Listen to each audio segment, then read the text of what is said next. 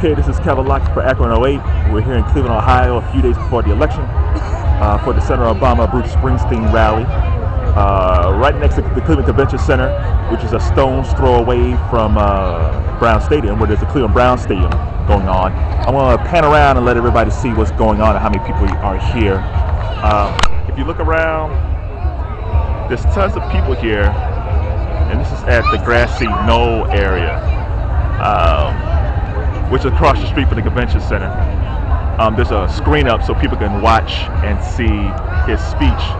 Um, if we go in a little bit, these are people in line trying to get into the mall where Senator Obama will be speaking. I doubt if most of these people right here will get in.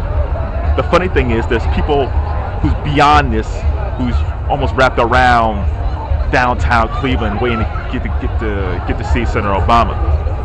Uh, there's a lot of people here. I'm sure some people are here to see Bruce Springsteen. I'm sure some people are here to see Senator Obama. Whatever the case, they're going to see a good show. They're going to hear a great speech. And a few days before the election, Ohio is still a toss-up state. I meet the press this morning. It says Senator McCain is up by two percentage points. We'll see. Once again, this is Kevin Lockett for Akron 08.